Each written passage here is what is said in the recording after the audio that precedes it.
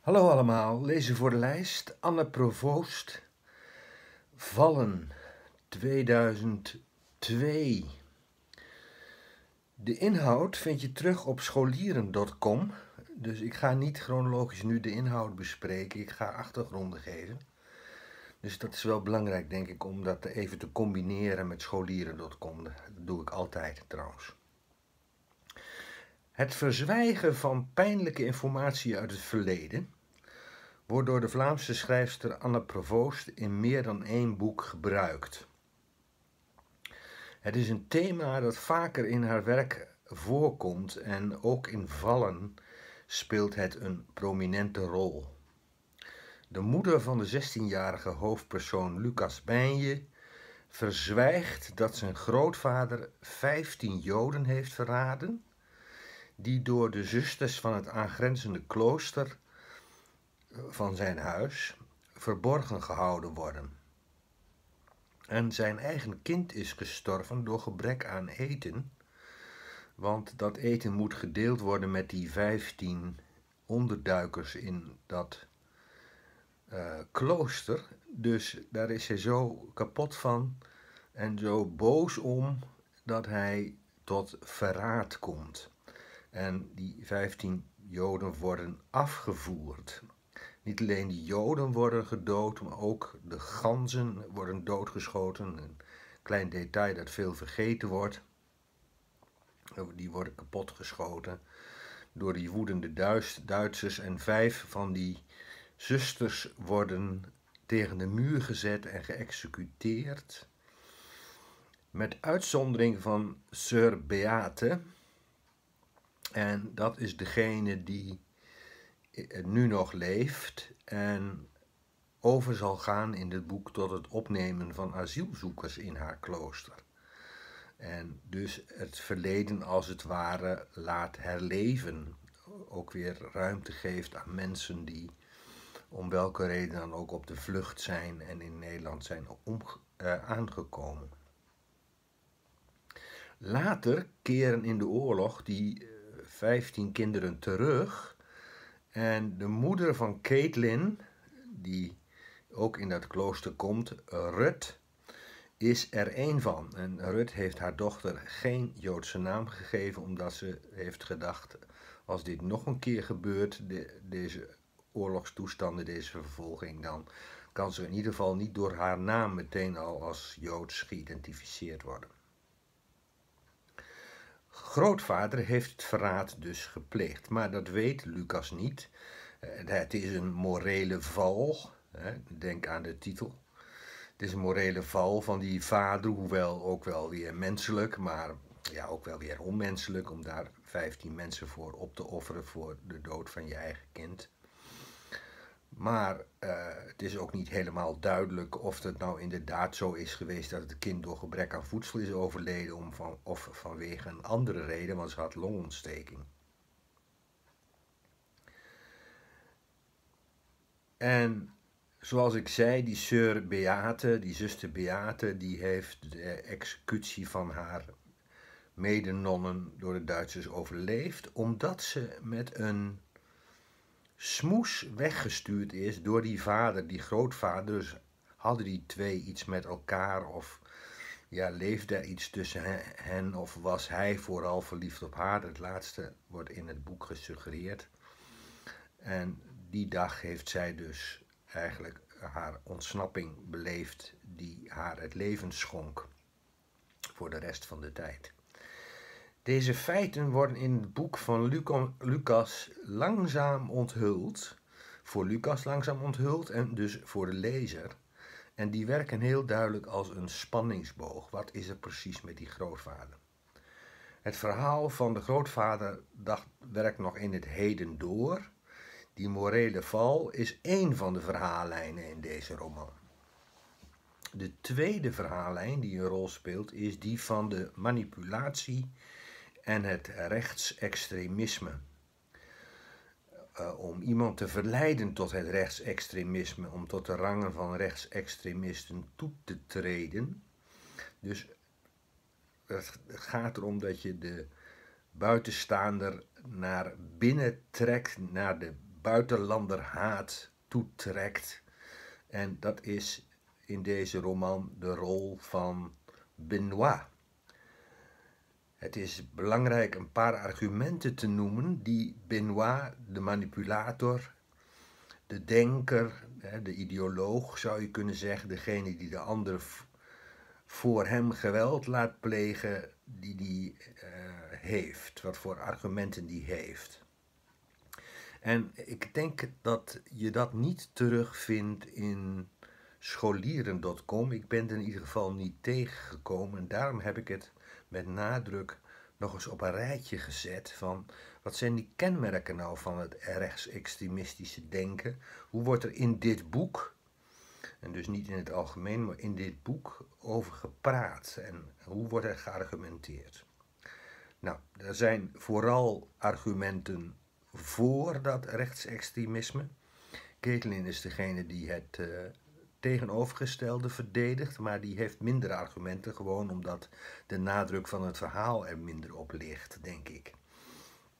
Er moet uitgebreid worden geschilderd hoe Lucas ja, eigenlijk naar binnen gezogen wordt en uiteindelijk in een vreselijke situatie terechtkomt.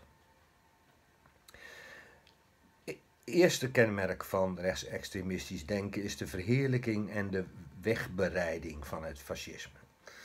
Voor Benoit is zo'n wegbereiding Lucas zijn grootvader, die Joden verraden.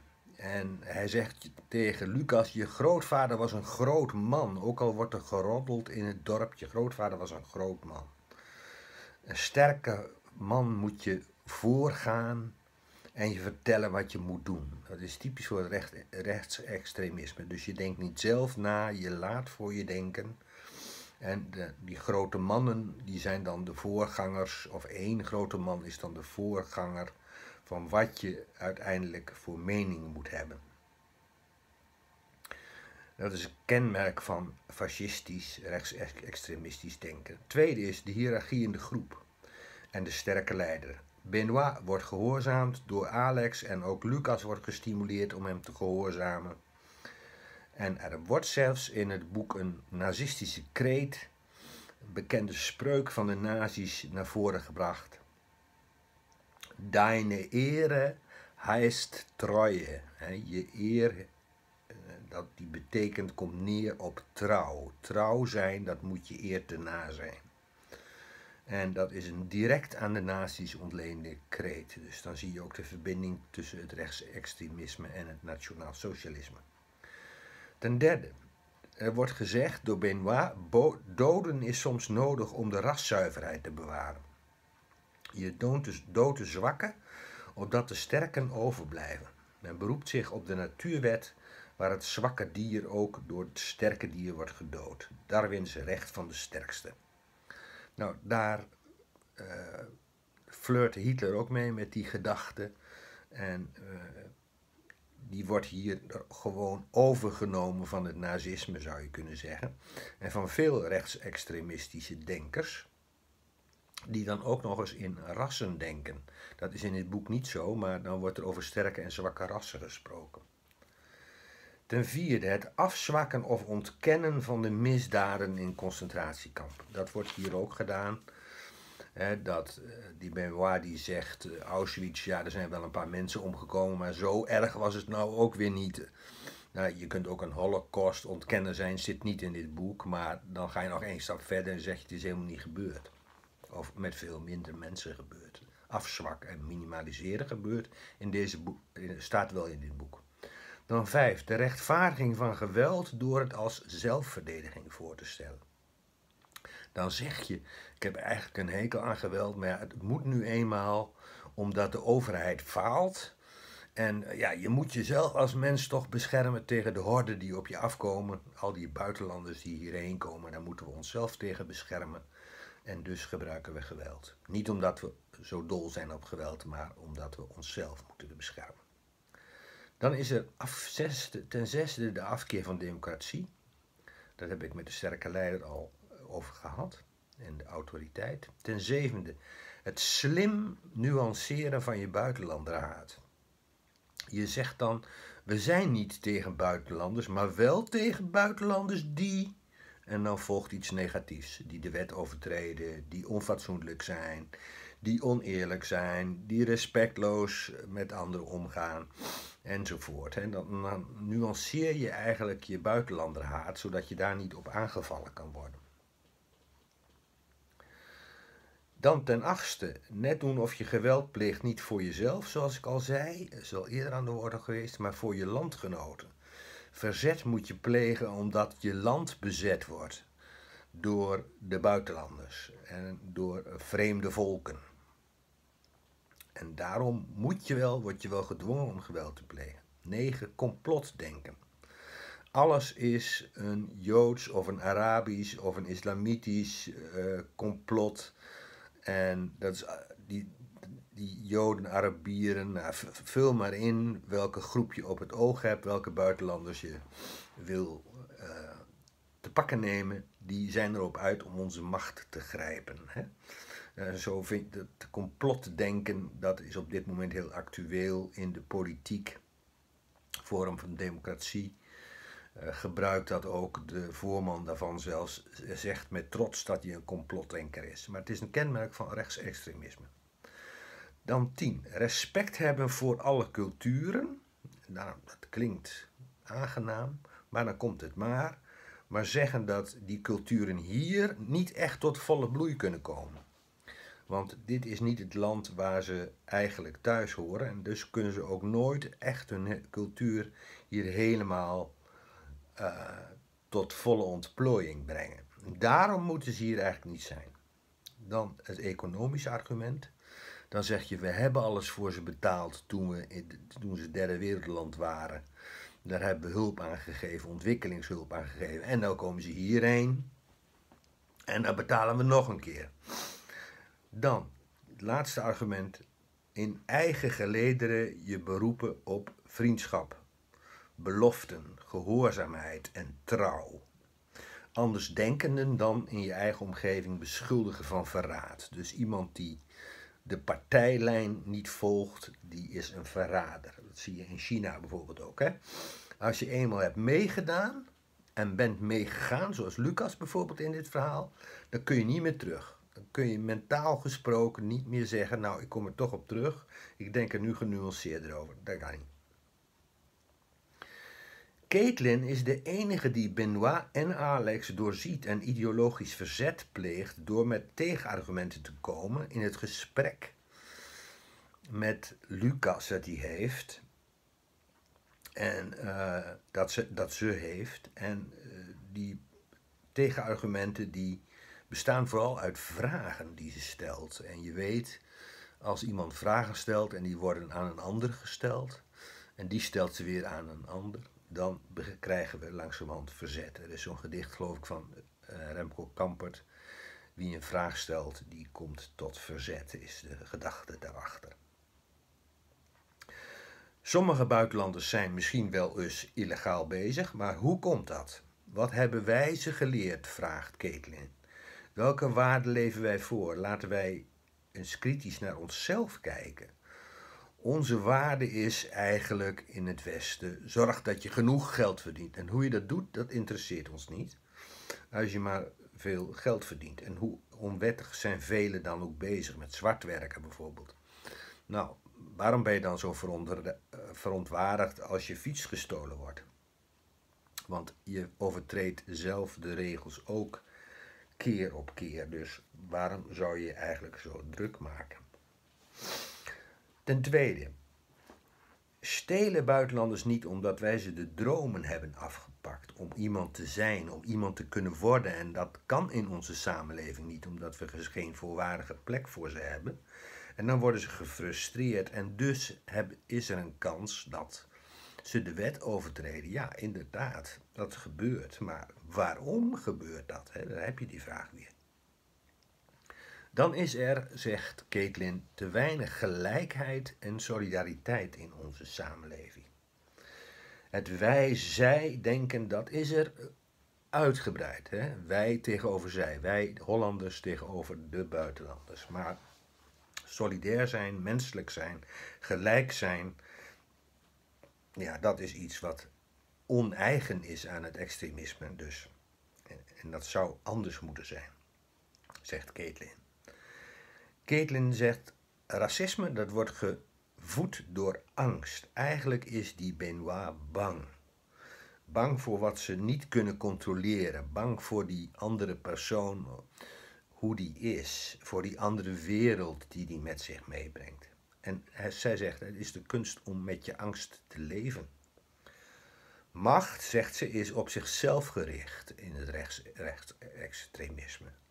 Ikke, ikke en de rest kan stikken. Maar we hebben dus, zoals gezegd, die solidariteit nodig. Ze zegt ook ten vijfde, niet de Arabieren bedreigen ons, maar wij worden bedreigd door mannen met molotovcocktails. En dat speelt in die roman een rol. Zij willen andersdenkenden in de gevangenis. Zij heeft het over dansers. Nou, ze is zelf een danseres, dus dat is nogal wat. Journalisten, schrijvers, homo's. Nou, kijk eens naar wat er op de wereld aan de hand is in in verschillende delen van de wereld waar nu het WK bijvoorbeeld is, moeten ze van homoseksuelen niks hebben. Uh, Rusland, journalisten en schrijvers in de bak of anderszins vervolgd of het land uitgegaan als die een andere mening hebben. Uh, zelfs dansers worden, weet ik, vluchten naar het westen omdat ze niet veilig zijn. Dan ten zevende zegt Caitlin: Ik ken mijn geschiedenis want mijn moeder Rut was een van die 15 kinderen die in de oorlog in het klooster zaten. Ze weet zelf dus wat onderdrukking betekent. Dat heeft ze van haar moeder geleerd. Daarom is ze heel blij met Sir Beate, die het klooster openstelt voor asielzoekers. Twee gezinnen uit Zaire en drie uit Tjaad komen er.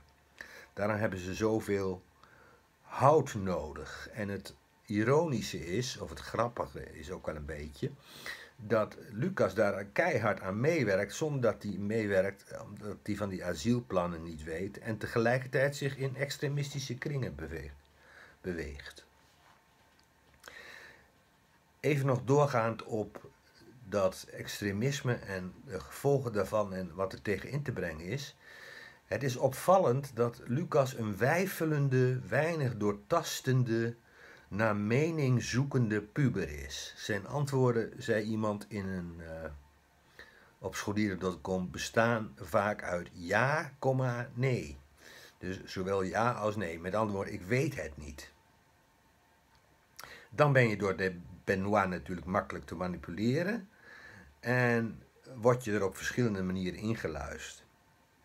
En dat is dus nog steeds verhaallijn 2. Als hij Benoit en Alex ontmoet, Lucas, in een wapenwinkel waar hij een alarmpistool zoekt voor zijn moeder om de uh, dieven tegen te kunnen gaan, is hij onmiddellijk onder de indruk van de overtuigingskracht van Benoit en lijkt het er ook op dat hij meent eindelijk vrienden te hebben gevonden. Dat speelt denk ik ook wel een beetje een rol. Twee keer toe belt hij vrienden op in de plaats waar hij eigenlijk woont, want hij is op vakantie in het huis van zijn grootvader. Maar het lijkt erop dat hij wel blij is dat hij die Alex en die Benoit heeft. Als hij bij het schietclubje van Alex en Benoit kan komen, gaat hij grif op de uitnodiging in. Volgens Alex moet hij meer durven. En dat zegt eigenlijk alles over hem. Hè? Dat hij ook wel een beetje een bangige jongen is. En dan ben je gevoelig voor die manipulatie. Van Benoit krijgt hij een nieuw geladen echt pistool om zijn moeder tegen de inbrekers te beschermen. Hij neemt deel aan een betoging en gaat zelfs zo ver dat hij zich laat overhalen tot het gooien van een molotovcocktail. En er de benzine voor levert. Steeds heeft hij niet genoeg pit en daadkracht om er tegen in te gaan. Ten slotte wordt hij erin geluisterd door de Benoit wat het ongeluk met de auto van Caitlin betreft. Eigenlijk is Benoit daar ook verantwoordelijk voor. Hij had een blauwtje gelopen bij Caitlin, die Benoit, en die had hem, wat zijn rechtsextremisme betreft, eens goed de waarheid gezegd. En nu haat, dan haat hij haar en wil hij wraak nemen. Als de val met de auto met Caitlin achter het stuur uitloopt op een brand, hè, na een slippartij, eh, het wegraken van de weg, wegraken, in een ravijn raken van die auto, en een ingedeukte, verkreukelde auto overblijft, dan raakt hij in paniek. Hij kan de autogordels nog kapot zagen met de kettingzaag die hij uiteindelijk pakt. Kan hij doorknippen of doorzagen, maar de linkervoet van Caitlin zit vast onder een stang die hij met de kettingzaag niet kan doorzagen. En dan in een impuls besluit hij om dan de voet er maar af te zagen. En zaagt hij de voet van Caitlin af. En dat terwijl het eigenlijk helemaal niet nodig was, blijkt later in het, uit het brandweeronderzoek. Uh, want hij had die stang gewoon kunnen opschuiven naar links of naar rechts. En dan was ze gewoon losgekomen. Ze wordt uiteindelijk uit de fix brandende auto gered. Benoit belt hem dan op met de boodschap dat hij gefeliciteerd wordt met die daad. Caitlin is Joods en hij wilde wraak nemen. Nou, hij heeft eigenlijk gekregen wat hij hebben wil, wilde. En dat is al verschrikkelijk genoeg. De moeder van Caitlin vraagt zich af of er nog ooit iemand verliefd kan worden op Caitlin. Dat vind ik ook wel pijnlijk, omdat het overduidelijk is dat Lucas verliefd is op die Caitlin en het ook zal blijven, ook zonder voet. Als Benoit na zijn telefoontje op bezoek komt, komt er verzet bij Lucas op. Hij dreigt met het hele verhaal naar de politie te gaan, maar zegt Benoit, als het erop aankomt was ik er niet. Dat is een citaat. Nee, want hij heeft er steeds voor gezorgd dat de anderen voor hem de kastanjes uit het vuur gingen halen en de, het geweld pleegden. En hij was alleen maar als denker, als strateeg op de achtergrond aanwezig. Je kan hem nergens van beschuldigen. Bij de politie vangt Lucas dan ook bot, want hij gaat wel. Op de regionale tv beschuldigde Benoit hem ervan een heethoofd te zijn die te radicale ideeën had en de kettingzaag te snel gebruikt heeft. Caitlin is een Joodse en daarom heeft hij eerder naar de kettingzaag gegrepen dan nodig was. Wordt hem ook nog voor de voeten geworpen. Zo draait hij Benoit dus alles om en pleit hij zichzelf vrij en blijft Alex over die in hechtenis genomen wordt. Maar die zal zwijgen zoals afgesproken, dat is het probleem niet. De derde verhaallijn betreft de verhouding tussen Caitlin en Lucas. Lucas' moeder en hij komen al jaren op vakantie in het huis van de grootvader. Daarnaast is Caitlin met haar Joodse moeder op bezoek in het klooster van de zuster Beate. Ze speelden vroeger als kinderen al met elkaar en ook nu zijn ze zo nu en dan samen, hoewel Lucas vroeger nooit met Caitlin mocht spelen. Caitlin weet wel wat grootvader gedaan heeft in de oorlog, maar Lucas weet van niets. Caitlins grote passie is de dans. Dat is extra pijnlijk dat ze haar voet verliest. Ze oefent veel, onder andere ook. Uh, ja, in, in, in een plaats die een soort eetzaal wordt genoemd. Ze wil auditie doen in New York voor een dansplaats. Maar dat kan nu na het ongeluk niet meer.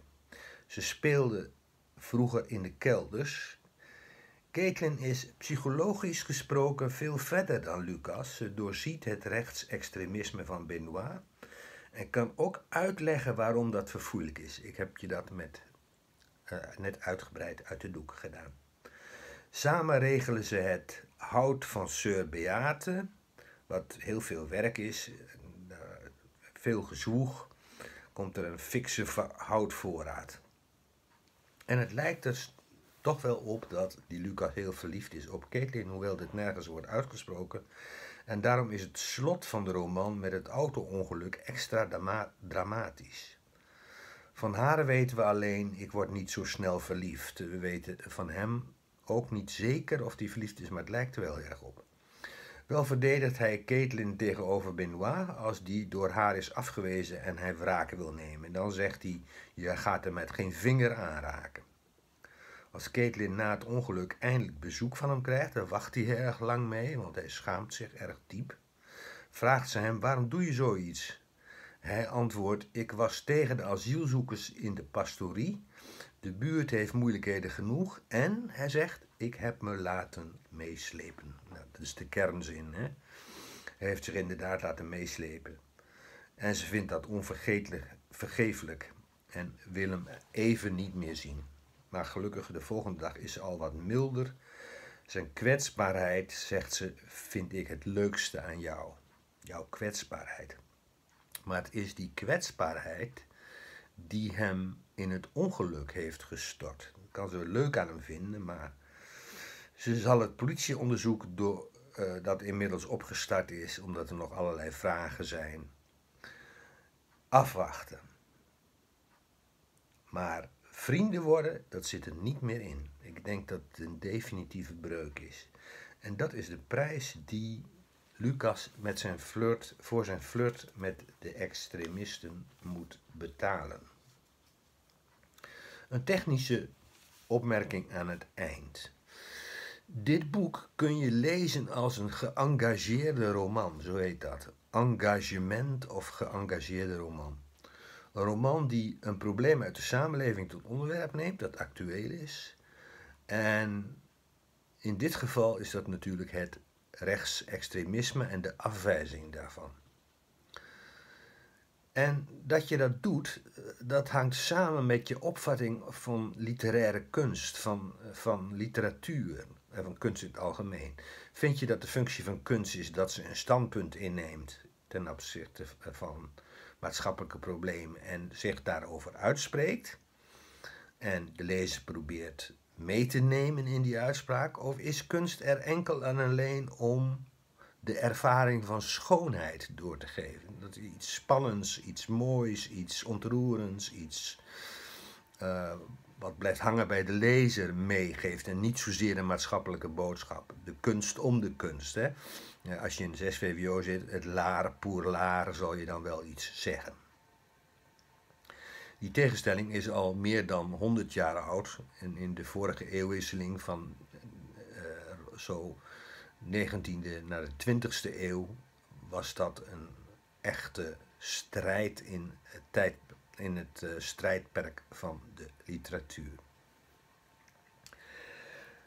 Toch is uh, Anne Provoost nergens uh, belerend of moralistisch. Ze zegt nergens dit moet je denken of dat moet je zien, maar ze vertelt het verhaal. En ze vertelt het verhaal van de prijs die je moet betalen als je te dicht bij het vuur komt van het extreem eh, rechtse gedachtegoed. En ze analyseert ook dat extreemrechtse gedachtegoed. Dat doet ze erg knap.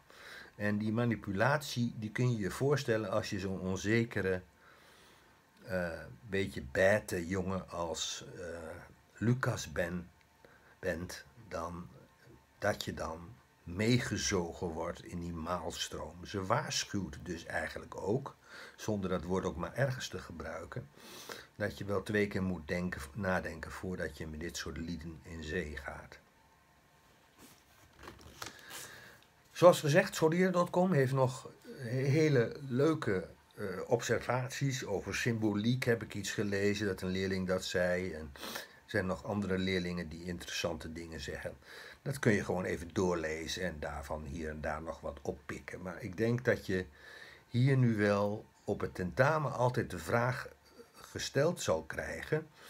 Wat nou in het boek de inhoud van het rechtsextremisme is en wat er tegen ingebracht wordt. En daar hebben we het uitgebreid over gehad. Fijn dat je weer kijkt naar mijn kanaal, dat je weer op mij afgestemd hebt. Heb je er wat van geleerd? Laat het dan even weten door mijn uh, filmpje te liken. En dan zie ik je bij het volgende boek. Een fijne dag.